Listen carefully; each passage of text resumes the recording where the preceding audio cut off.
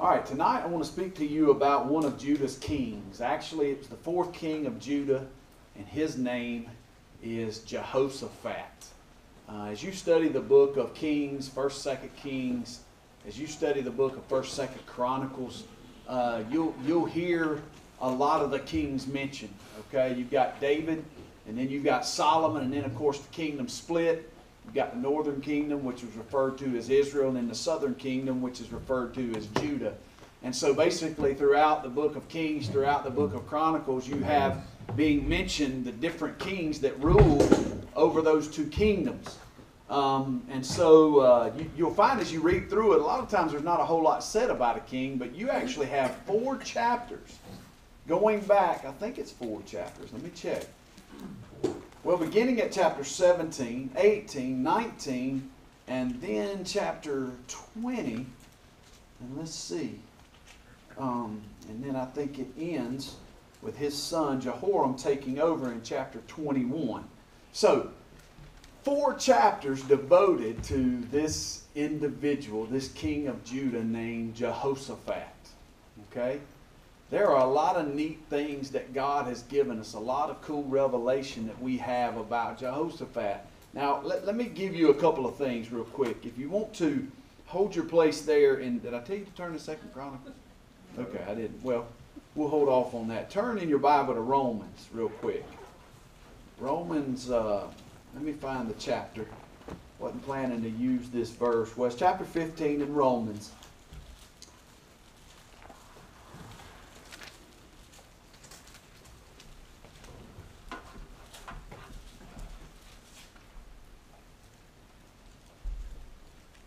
Take a moment and look at verse number four there.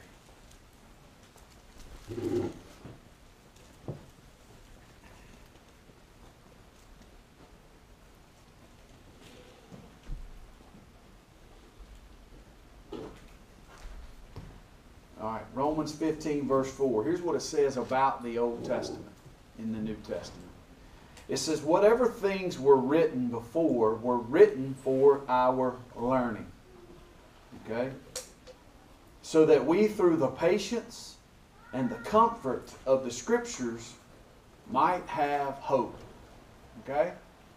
So, what Paul does, he gives us a little insight as to, to one of the purposes for the Old Testament in our lives. In other words, we can look back and we can see from those who walked with God, we can study their lives and we can, we can learn something about experiencing God through them, right? Um, just like we do in, in a sense today through uh, uh, others that God has put us put around us that, that do walk with God. We learn a lot from them. And so uh, you have a lot recorded about people like Jehoshaphat to teach us something about experiencing God and about a relationship with Him. Okay? It's not that Jehoshaphat takes center stage, because really, as you study his life, the hero is the same hero throughout the Bible, and guess who that is? It's the Lord. It's always the Lord.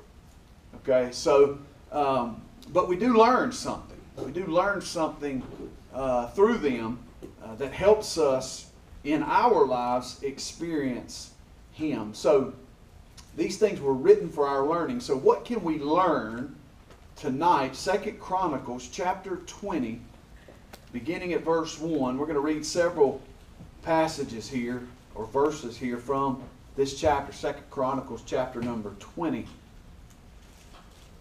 And again, just let me encourage you to continue being faithful through your study of experiencing God. I know we're at a point where it's kind of easy to get busy and, and other things can sort of come in and sort of divert your attention, but I encourage you to be faithful and continue sort of plowing through, just letting God speak to you uh, through this gentleman, learning more about how to experience um, experience Him. Uh, Second Chronicles chapter number 20. Chapter number 20. Okay?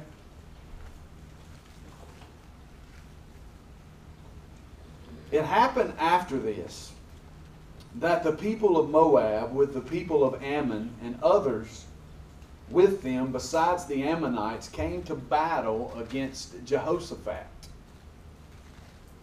Then some came and told Jehoshaphat, saying, a great multitude is coming against you from beyond the sea, from Syria, and they are in Ha Zazon, I guess that's the way you pronounce it, Tamar, which is En Gedi.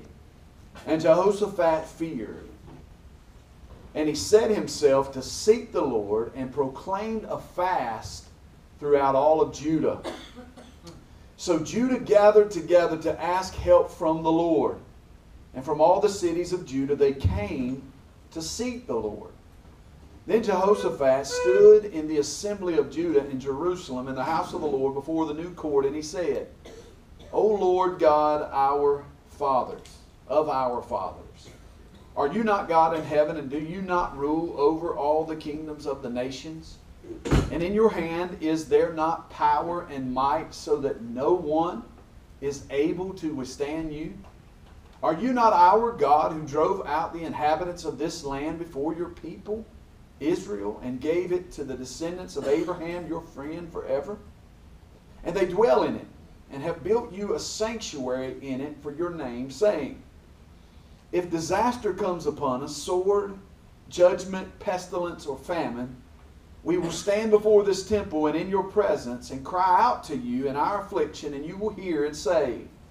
And now here are the people of Ammon, Moab, and Mount Seir whom you would not let Israel invade when they came out of the land of Egypt, but they turned from them and did not destroy them. And here they are now, rewarding us by throwing, by coming to throw us out of your possession, which you have given us to inherit. O our God, will you not judge them? Because we have no, no power against this great multitude that is coming out against us. Nor do we know what to do. But our eyes are upon you. Now all of Judah with their little ones, their wives and their children, stood before the Lord. Then the Spirit of the Lord came upon Jehaziel, the son of Zerah, Zechariah, the son of Benaiah, the son of Jeiel, the son of Mattaniah, a Levite of the sons of Asaph, in the midst of the assembly. And he said, Listen, all you of Judah, and you inhabitants of Jerusalem, and you, King Jehoshaphat. Thus says the Lord to you do not be afraid nor dismayed because of this great multitude, because the battle is not yours, but God's. Tomorrow I go down against them. They will surely come up by the ascent of Ziz, and you will find them at the end of the brook before the wilderness of Jeruel. You will not need to fight in this battle.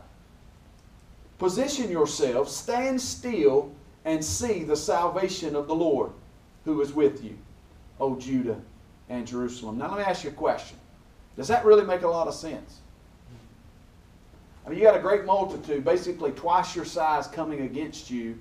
And so they set themselves to seek God. God speaks through his prophet and basically says, All right, in this battle, you're not going to have to fight. Does that make any sense? Does that make any sense? It doesn't. Doesn't make any sense to me. You want us to stand still. Right, God? Okay. That's really going to work. But he says, stand still. And he says, don't be afraid or dismayed. Tomorrow go out against them, for the Lord is with you. And Jehoshaphat bowed his head with his face to the ground and said, Lord, you are an idiot. Is that what he said? Absolutely not. Here's what, here's what Jehoshaphat did. He bowed his face to the ground. And all of Judah with him and the inhabitants of Jerusalem, they bowed before the Lord and they worshiped. They worshiped.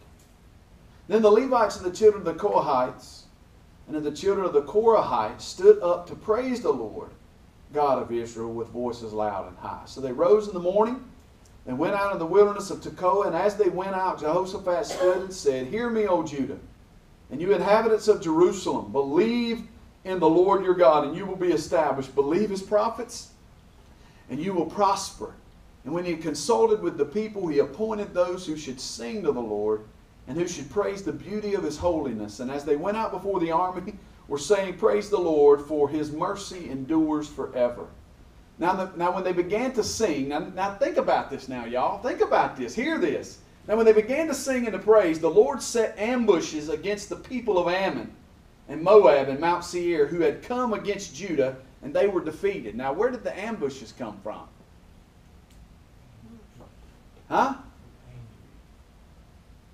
Maybe so. But it sure wasn't the people of Israel fighting, or the people of Judah, excuse me. So the Lord had set ambushes against those people, and he defeated them. For the people of Ammon and Moab stood up against the inhabitants of Mount Seir to utterly kill and destroy them. And when they had made an end of the inhabitants of Seir, they helped to destroy one another. Wow. So when Judah came to a place overlooking the wilderness, they looked toward the multitude, and there were their dead bodies, fallen all over the earth, and not one of them had escaped. When Jehoshaphat and the people came to take away their spoil, they found among them an abundance of valuables on the dead bodies, precious jewelry, which they stripped off for themselves, more than they could carry away.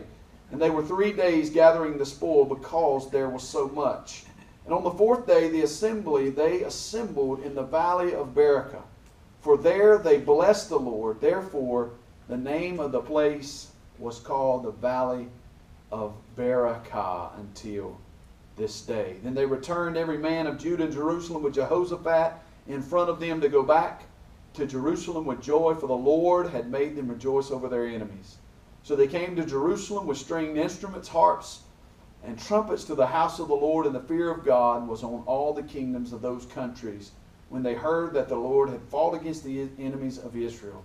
Then the realm of Jehoshaphat was quiet, for his God gave him rest all around. So, what is it that you and I can learn about experiencing God from Jehoshaphat? What can we learn about that from him?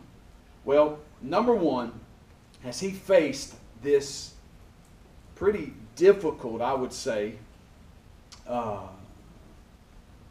situation with his enemy coming against him, pretty much being outnumbered two to one, how did how did he respond? I mean, what what did he do that was so important for you and I today? Number one, he he chose to seek God. You can just write that down. Number one, he chose to seek the Lord. So what that tells me then is again something that you have heard over and over and over as you have studied experiencing God. It's talked about the importance of a what with God a relationship, right? Experiencing God flows out of a real, genuine relationship with God. And so it tells me that because he chose to do this, as we just read in the beginning, right? Verse 2 said, Then they came and told Jehoshaphat, saying, The great multitude is coming against you. Jehoshaphat was scared, and in the midst of his fear, what did he do? He set himself to seek the Lord. Okay? In other words, in the midst of his fear, Here's what, here's what Jehoshaphat said. He said, I want to know what God thinks. I want to know what God wants for me to do in this situation. Okay? Now, how many would you would agree that that's that's probably something that we too should do in our lives as we face various situations like that? Everybody agree with that? Well, why don't we do it? Why is it that we have a tendency to turn to man? Why is it a tendency that we're going to turn to the flesh for our help? when we know as believers, truly, as the psalmist said, our help comes from the Lord. He is our rock, He is our refuge. And so, why is it then that when the difficulties arise in our lives, we want to look to humans? We want to look to our own ability to try to fix a situation. You see, in order to truly experiencing God, experience God in our lives, something's got to happen in our heart to where we actually care about what God thinks. And as a nation, we've stopped caring about what God thinks. Amen or oh me? I mean, you may not have, and I hope you haven't. I mean, because that'd be pretty odd that you're sitting in this place in the midst of a, a, congregation of believers, and yet in your mind, you're not convinced that what God has to say matters. Okay? But, but I would assume that it's not that way with you. I mean, you're here because you do care what God thinks. And so if you really want to experience God, something's got to happen in your heart to make you care about what God thinks. I was having a conversation this afternoon, which I thought was interesting. I was just hearing a guy share his testimony, and I, as he was sharing, I said, "Well, you know what? What made some of the change in your life um, as far as coming to know the Lord?" And he said, "You know, facing the facts that certain realities were not in my life." In other words, if somebody came and told me that an atomic bomb just went off up at the Big V if they just came and told me that right now, you know what I'd call them? I'd call them a liar. Because you and I know good and well if atomic bomb goes off, there are certain things that are going to, to occur. We'd probably already be dead by now. Right? I mean, truthfully. Um, so there's just things that are going to happen. No and that's the same way it is with being born again. You know, becoming a new creature. The Bible clearly says, old things pass away, behold, all things become new. And so as he began to examine his own life and see that, you know what, this is not present in my life, but yet I say I'm a Christian. You know, that's not present in my life, but yet I still say I'm a Christian. This has never changed in my life, you know, da, da, all these certain things. And so it was like, am I really a Christian? So the reason I word things the way I'm wording it is that, hey, guys, things are not going to, what God thinks about things and what God has to say on certain matters in our life is not going to matter to you till something changes in your heart. You understand that? Until you're fully convinced of who He really is in your life. Well, Jehoshaphat was fully convinced that God was God. And that what he had to say in this issue, no matter how scared he was, no matter how big the enemy was that was coming down against him, it mattered. Okay? So his relationship with the Lord was very important. I really want to know what God says. If you go back, it's really interesting in chapter 18. I encourage you to go back to 17, maybe sometime tonight, and read a little bit about him. But uh, it was kind of interesting that. Uh, Ahab was the king of Israel at this time in chapter 18. And uh, he says to Jehoshaphat one day, king of Judah, Will you go with me against Ramoth Gilead? And he answered and he said, I am, I am as you are, and my people are as your people. We will be with you in war. Also, Jehoshaphat said to the king of Israel, Please inquire for the word of the Lord today. So it's like, okay, Ahab, I hear what you're saying. I'm with you. Our people are with you. But let's ask the Lord about what he thinks. Okay? And so it's cool in chapter 18, verse 5, it says, Then the king of Israel gathered the prophets together, 400 men, and said to them, Shall we go to the war, go to war against Ramoth Gilead, or shall I refrain? So they said, Go up, because God would deliver it to the king's hand. But Jehoshaphat said, Something must have checked in his spirit. And he says, Is there not still a prophet of the Lord here? that we may inquire of him. In other words, he wasn't pleased with those, what those guys had to say about it. He knew something was radically wrong with that. So the king of Israel said to Jehoshaphat, There is still one man by whom we may inquire of the Lord, but I hate him because he never prophesies good concerning me, always evil. Isn't that the way tendency we have to do? We kind of gravitate to somebody that's always going to be positive. But sometimes, doggone it, we need to hear the truth whether we like it or not. Right? So Ahab's, now this is the difference in kingship and, and, and, and as far as who a man is. Now when you think about Ahab, do you think really about much very good about him?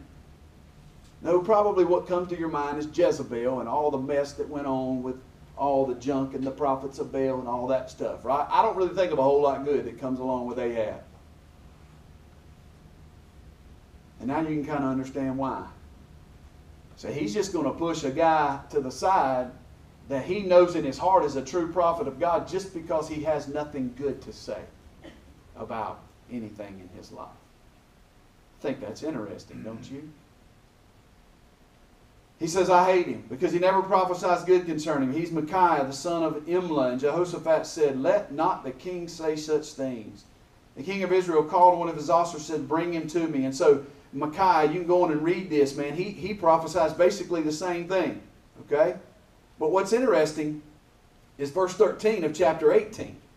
And this, ladies and gentlemen, is a true prophet of the Lord. Here's what he says As the Lord lives, whatever my God says, that's what I'm going to say. What do you think about that? To me, now that's a true prophet of God. In other words, you can imply too with this that if God don't say it, I'm not going to say it. So you can count on me, Jehoshaphat. Whatever God says is what I'm going to pass on to you, whether you like it or whether you don't like it. And so it's kind of cool that he goes on and he says, Go and prosper. They will be delivered into your hand. And so the king says, How many times shall I make you swear that you tell me nothing but the truth in the name of the Lord? So he was serious, y'all. That's my point. Jehoshaphat was where he was in his life. He got to experience God in mighty ways because he was willing to seek him out. So, I love Hebrews 11, verse 6. Without faith, it's impossible to please God, but He is a rewarder of those who will diligently seek Him. So, that's what we learn from him. Number two, his relationship with the Lord was important. He wanted to know what God had to say about the issue at hand. But not only that, but his relationship with other believers was important as well. Because what we find happening here back in chapter 20 is we find that uh, Jehoshaphat feared. He set himself to seek the Lord. But not only that, but he proclaimed a fast throughout all of Judah. In other words, he called for the people of God to join him in seeking the Lord. Right? So I think for you and I, just something that we can take from this is that if we truly want to experience with, with God, there's some relationships in our lives that are that are very important. Number one, our relationship with God. Number two, our relationship with other believers. Okay? Because you know what we have the tendency to do? Oftentimes we're loners and we like to just do it all alone. I thought it was cool this past week on our retreat with those men out, out at the coast there was one guy there, and uh, he was really struggling. His wife is Jehovah's Witness. Man, he opened up and he shared one of the days uh, just how much his heart was broken for his wife who was caught up in that deception, that lie of the whole Jehovah's Witness religion or whatever. And uh, his pastor was telling me later that uh, this was the first time that he had really opened up and I'll never forget one of the things he said. He said, You know, guys, he said, I'm sick of it. And he said this just bawling, crying like a baby. And he said this, he said, Guys, I am sick and tired of trying to do this on my own. I need help. And I need you guys to help me. And I thought, man, what an illustration. Because, you know, there are just times in our lives when we need people to help us. We need people to come along beside of us, man, and literally help hold us up through intercessory prayer through their encouragement, through their presence of just being with us. Not that they take God's place, but God has given us each other, all right? He's not called us to live the Christian life and grow in the Christian life in a vacuum. He's given us the church, He's made us a body, and He says that every single part of that body is important, and it all works together to accomplish His glorious purpose, right? So our relationship with Him is important. Our relationship with others is important. So we must be willing to, to, to want to know what God has to say and what He thinks on a matter. Above all things. But we also must be willing to say, look, I need your help. I need you to come along and beside of me in this. Because you're, I'm sure some of you are like me. Sometimes, you know, you get so caught up and so overcome with fear about certain things. What do I do? What's going to happen if I do this? That sometimes it's hard to even pray yourself. Right? So the Bible teaches us in James chapter 5, if we find ourselves in that spiritual place, we need to reach out. We need to call other godly people to come alongside of us and pray. Pray with us, right? So, anyway, um, another thing, another thing um, to mention here is this. Look at verse number 12 of chapter 20. Basically beginning at verse 6 all the way down through verse 12, we have some insight on the prayer that Jehoshaphat prayed to God as he was seeking him with the people. And uh, acknowledges who God is, acknowledge, acknowledges his power over the nations, and the fact that no one is, is able to withstand him. Um, he's reminded him of his covenant that he's made with, with his people but, but verse 12 really jumps out at me because it speaks to the, to the heart of Jehoshaphat. And I know it's the kind of heart that God desires to develop in us. Okay? So he's crying out to God. Bible clearly says he's acknowledging this. We've got no power against this multitude. In other words, he's admitting that he nor the armies that he has have the ability to overcome this enemy that's coming down against him. But he not only admits that, but he also admits that he doesn't know what to do. Now, how many men or how many women do we have today in our world that when they find themselves in the midst of this kind of situation are willing to admit, you know what, I don't have the answers, nor do I have the ability to fix the situation or the power to fix the situation? I mean, where do you oftentimes see that these days?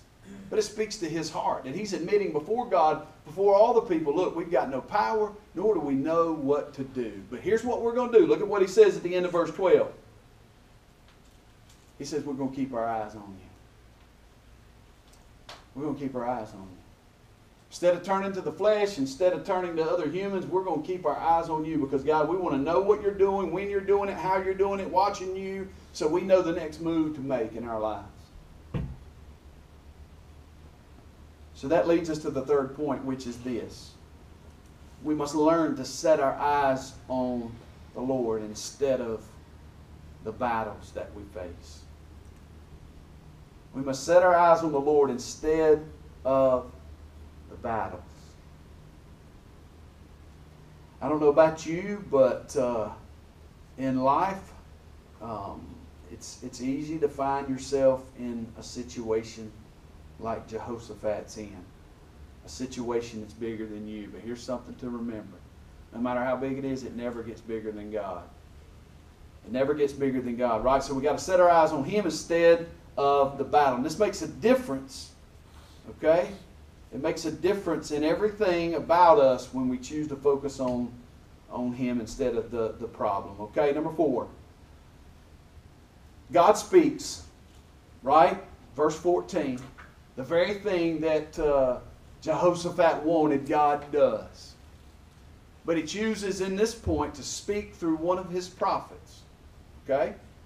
Now let me ask you something. Are you at, at this time currently trying to seek to know God's heart on a certain matter in your life? One of the things that you're going to find as you walk through the study of experiencing God, you're going to hear Dr. Blackaby talk about how God speaks. Right? How does God speak? Now just think about that, not looking for any answers per se here, but, but how does God speak? Well, we know He speaks through His Word, but how else does God speak in our lives? What are you, what are you looking for? When you're seeking God for an answer, to know His heart on a particular matter in your life, how are you looking for Him to answer it? I think that's a big deal. Well, in this case, the Bible, the Bible says that God chose to speak through one of His prophets. So the Spirit of the Lord, verse 14, comes upon Jehaziel. I guess that's how you pronounce his name. And he speaks and he tells them what to do. Okay? So through this prophet, God speaks, and this is where we sort of slowed down to sort of look at what God wanted them to do. Verse 15 Don't be afraid, don't be dismayed, because of this great multitude. Okay? I understand your situation. I understand why you would be afraid, but here's what you've got to know about this. The battle is not yours, it's God's. It's God's.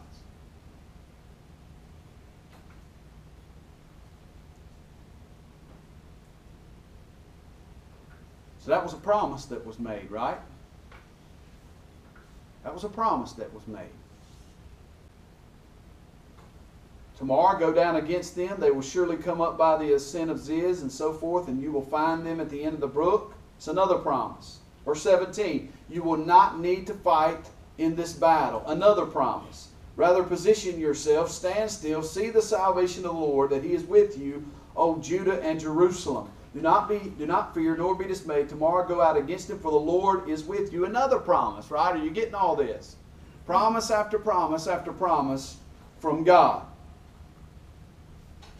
So, number four is this we must be willing to believe and stand on the promises of God.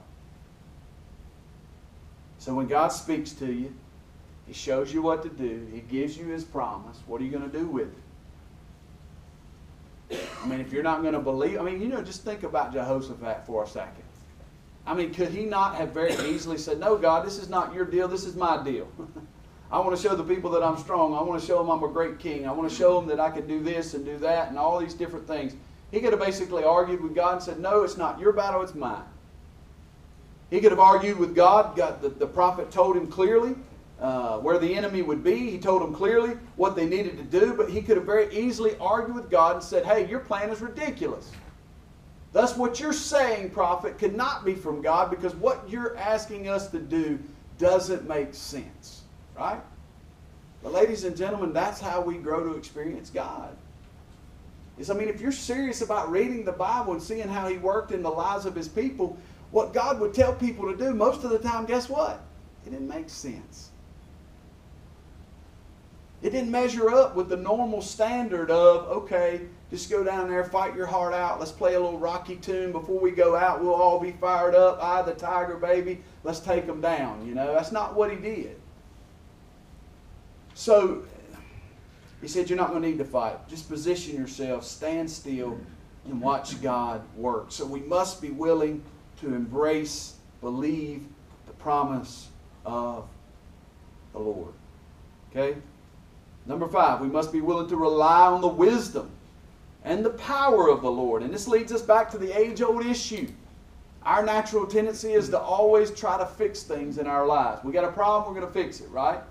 We got a problem, we're going to deal with it, right? That's how we naturally function. But to truly experience God, we must be willing to rely upon what God says, His wisdom and His power, right? It's easy again to want to rely upon what makes sense, what's logical, but in order to experience God, we must be willing to embrace His wisdom and His plan. And guess what happened? Jehoshaphat and all the people of Judah, they got to go out that day and see an utter miracle, did they not? They got to see something absolutely amazing. Here it is, y'all. They won a battle, and guess what? They never had to fight. Most of the time, you think about a battle, what's going to be involved? It's going to be sweat, it's going to be tears, it's going to be blood, it's going to be death, and all of those things. But guess what? Not a single person of Judah died. They didn't have to sweat unless they sweated on walking to where God told them to walk to. They didn't have to shed any blood. They got to see God do a miracle. They won a battle without ever fighting. And ladies and gentlemen, that just don't happen every day. And so when they walked away from this situation, I mean, were they literally bragging about something that they had done? What were they doing? No, when they walked away from this, all they could do was brag about what God had done. See, that's the whole point. That's what it's all bringing us back to. I mean, do you really want to live a life where you're constantly testifying of things that God has done that only He can do? You see, if you continue to want to understand servanthood like we've understood it for hundreds of years here, you know that servanthood is basically just going out and we feel like God really needs us to serve Him. So we just feel like we're just going to go out and we're going to do whatever we think God wants us to do. We're just going to do it and do our best to it. We're going to miss out. But true servanthood is all about just saying, God, here I am. Just like Jehoshaphat. God, I have no power. I don't know what to do, but my eyes are on you. I, am here. You, you just tell me what to do and we'll do it. And you know what? Jehoshaphat held true. Lord, if you're going to tell us we don't need to fight, if you're going to tell us to position ourselves and not do anything, guess what? That's what we're going to set ourselves to do. Right? So it's not about you going out here and just finding something good to do. I mean, understand what a true Christian is all about. It's about saying, God, here I am. I'm your instrument. You use me to do your work in this world in whatever way you desire to do that. That's what I hope you're learning as you do this study. Because again, it's so easy for us to just to go out and do things and then say, okay, God, I'm going to do this, so why don't you bless what I'm doing? It's a big difference when we when we say, okay, I'm going to do this, God, you bless it, versus God, I'm going to keep my eyes open.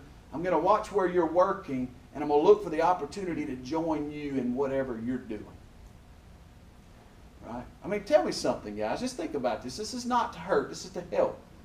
But how many of you honestly could raise your hand right now and share a testimony of something that just in the last month God did something that only God could do? I mean, really. I mean, how many of you could truly say, you know what, man, I sought God about this and so I just put myself out there and here's how God used me and here's how God showed up? Or how many of us can really mainly talk about what we've done in the church lately? And we can all talk about what we've done in this place. But really, what are we doing out there in the real world? Where God's at and where God's working. Not to say He doesn't work here, but God's in the world, right? I mean, those harvests, man, those people, they're not in here, they're there. God came to seek and to save that which is lost. So where is God working? Where He's working there. He's in the world. So when we're out there, are our eyes open, or are we just always looking for the next opportunity to come into the church building and do our work? See, God's not looking for good church workers.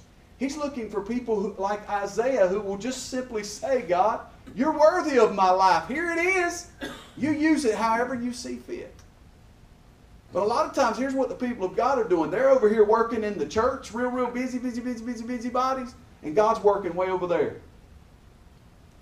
I don't say that to criticize anybody's work. Only you know in your heart if you do what you do because God tells you to do it. Only you know that. And I can't criticize that. But you got to understand, I've been a pastor for 15 years, and I'm speaking to you as one who has a lot of experience of being busy about doing a lot of things, being busy over here when God's over there. See what I'm saying? So, we must be willing to rely upon His wisdom and His power, no matter how ridiculous it may sound to us. And we'll find that in the end, faith will always be the victory when we believe. And it's interesting that what did Jehoshaphat call the people of Israel or the people of Judah to do in verse 20? He says, Believe in the Lord your God, and you will be established. Believe his prophets, and you shall prosper. Believe. Embrace his promises. Embrace the plans, the wisdom that he has provided us. Embrace the fact that God is able.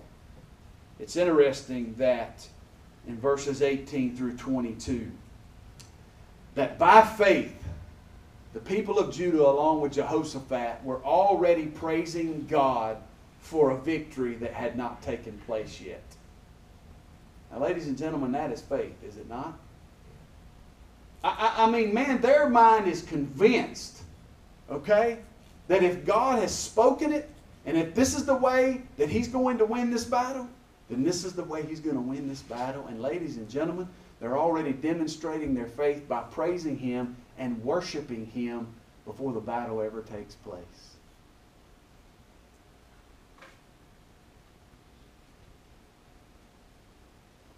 I'm going to tell you, living in our day and time, and I'm just going to use myself because I, I don't know you that well, and don't know really how you ultimately deal with things in your life. But you know what I would have done instead of praising and worshiping and claiming victory before it ever happened? I'd have been sitting around chewing my fingernails off. I'd have been sitting around going, oh my goodness, man, I am such an idiot. Everybody around here thinks I'm an idiot. I done stepped out. I'm, I'm planning on trying to fight a battle in a way that's never ever been done before, and all these things. And that, you know, you know what I'm saying? I'm biting my. Oh, is God gonna show up? Is He for real? You know what I mean?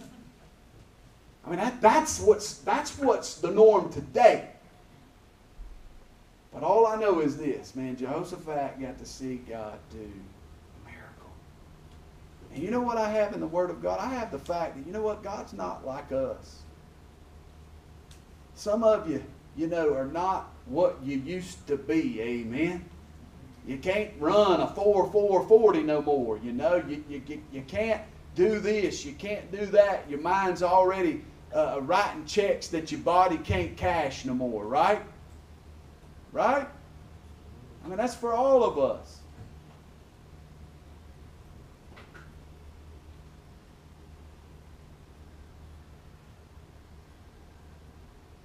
But the beautiful promise of God is this He says, I'm the same yesterday, today, and forever. And so the same God that Jehoshaphat trusted hundreds of years ago is the same God we serve today through his Son, the Lord Jesus Christ. So let me ask you, what's holding you back from experiencing God? Let me tell you what's holding you back? When you get home this evening, just go in your bathroom and look in the mirror. And that's who's holding you back. It's you. See, God wants you to know who He is. God wants to reveal Himself to you. God wants an intimate relationship with you. And that's where it starts. You can fight it and trade it for religion all day long if you want to, but that's where it starts. And without it, you'll never experience God.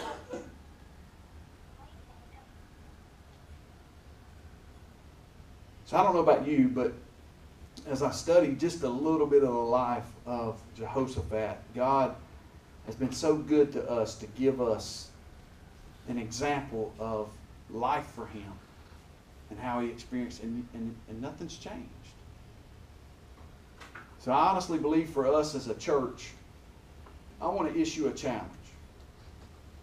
Number one, I want to ask you a question that'll challenge you. I hope challenges. Number one, are you saved? I mean, honestly, are you saved or are you just genuinely just flat out playing church? I mean, be honest. I mean, do you know the Lord's made a difference? I mean, has the atomic bomb of grace went off in your heart? Because when it happens, there are going to be things that change about your life. I mean, there's going to be a genuine love for God, number one, but there's also going to be a genuine love for the world. I mean, when you heard Abraham today, I mean, if you thought one thing about India since you left this morning, or were you just basically glad for him to finally get off the platform because you probably couldn't understand anything that he said this morning? I mean, I don't know, but what is your heart for? Because I know God's heart is for the world, it's for people. Right? So are you willing to examine yourself and face the fact that there are certain realities that take place when you are born again? So I'm asking you, are you genuinely saved? Or are you just playing games? You know what? Eternity is way too long to be wrong.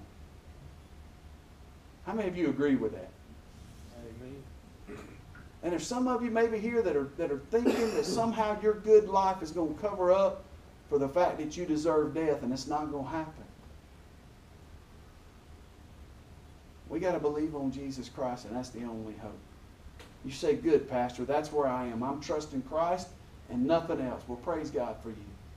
Because it's only through Him you can have a relationship. Let me ask you something. Are you allowing God the opportunity to reveal himself to you, to develop intimacy between you and him and your relationship. So I want to challenge you to seek him. I mean, the Bible literally in Hebrew, it says that, that, that uh, Jehoshaphat, he set his face. He set his face to seek the Lord. You know, I know there are a lot of flashing lights and there's a lot of things that the enemy makes look good in this life for us. And the sad thing of it is, is that not all those things are bad things. And that's pretty sly for him to take good things and use them to get your attention away from what you need to be focused on. So I just want to challenge you. Would you today be willing to turn your face from whatever else might have your attention and turn it solely to the Lord? And say, God, I don't know how many more days you're going to give me on this planet. It might be tonight when I go. It might be tomorrow. It might be a week. It might be a month. It might be years. I don't know. But Lord, I'm willing to set my face to seek you for the rest of my days. I'm willing to throw up my hands and say, God, I, all I want to do from now on to the end, till I cross the finish line, is what you want me to do. Because there's some of you that you're busy doing good things, but you cannot honestly say in your heart, God told you to do them. You do it because it's always been done, or you do it because it's a tradition. You just do it because, hey, it's just what you do. But I'm just asking, and maybe it is what God wants you to do, but are you willing to say, Lord, for the rest of my days on this planet, the only thing I want to be doing is what you want me to be doing? And I don't care how ridiculous it may be or may sound when you show it to me. I'm going to trust you, and I'm actually going to claim the victory before it ever happens. Father, we thank you for the day. Number one, Lord, I'm praying. I'm praying hard. I don't want to see anybody in hell. And God, I know the reality is that there are a lot of people going to hell from Baptist church pews. And so, Lord, I'm praying, God, that you will humble the hearts of folks in this room and that you will cause them to face the facts that you will cause them to, to, to think through the fact of God, are there certain realities present in my life that I know without a shadow of a doubt that you made a change in me? And Father, I pray for those who have trusted you, that are truly walking with you. God, I'm praying that you will put a desire in them to set their face, to seek you for the rest of their days. And may they only have one burning desire, and that is to finish this life doing nothing more than what you desire them to be doing, God. And I pray that for myself. God, I, don't want to live for man. I don't want to live to please man. I don't want to live to, to try and fulfill the expectations of man.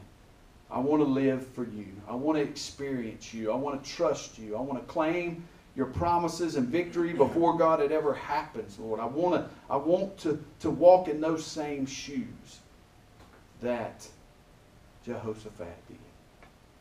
God, it's not so much about him, God, it's about where he was with you. And so, God, I pray that you bring us into such a relationship with you, God, that this becomes the testimony of our lives, Lord. And we ask it all in Jesus' name. Amen. All right. Amen. Thank y'all. Brother Kelly is going to lead us in our business meeting tonight. So if you're here and you're visiting with us or something, you don't want to hang out, I'm going to give you an opportunity to leave. Um, if you want to go before he comes, so we'll take about a minute break and let you guys do what you need to do, and then we'll start it up.